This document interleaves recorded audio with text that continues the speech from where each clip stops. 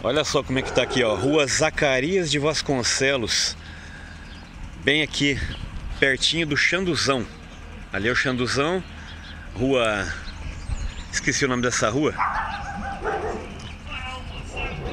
E aqui, bem num cruzamento.